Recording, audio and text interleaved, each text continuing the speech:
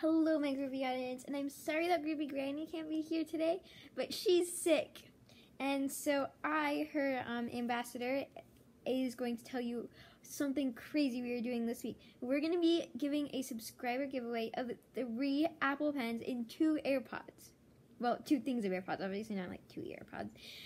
And then for the next for the people who subscribe in the next week, we'll be doing a random draw. And if you win, you're gonna love it.